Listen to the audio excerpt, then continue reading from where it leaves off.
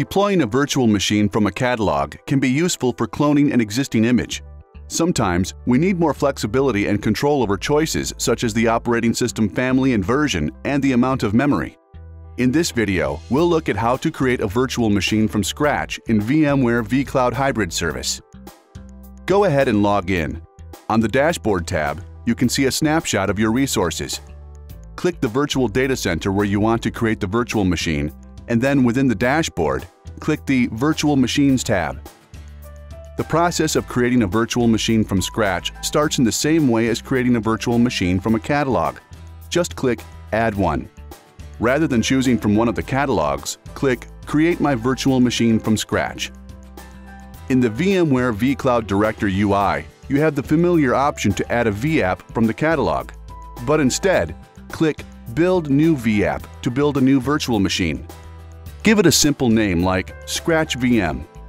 The description is optional, and for now you can use the default 20-day lease with no expiration. Go ahead and click Next. Because you're building from scratch, you don't need to look at any catalogs to find templates. You can just click New Virtual Machine and enter a name like Scratch VM. Select the hardware version. Here, hardware version 9 is fine. Select an operating system family, like Microsoft Windows, and then a specific operating system from the list. You can also customize your number of CPUs, amount of memory, hard disk size, and number of NICs from here. Once you're finished, click OK. You can see that the new virtual machine you've created from scratch is in the list of virtual machines. Click Next.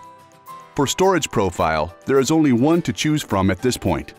For Virtual Data Center, click the appropriate virtual data center, in this case SharePoint, to store the new virtual machine with the rest of your virtual machines. Click Next.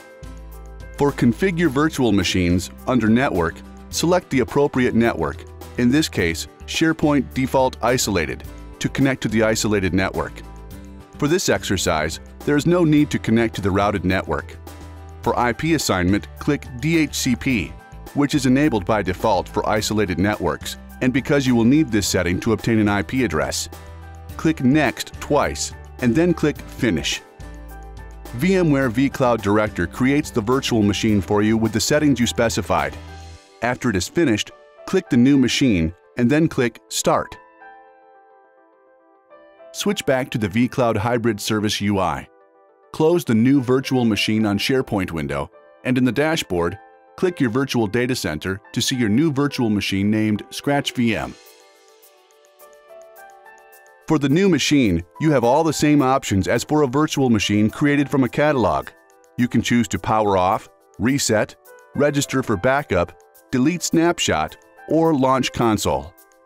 That's how you create a virtual machine from scratch in vCloud Hybrid Service.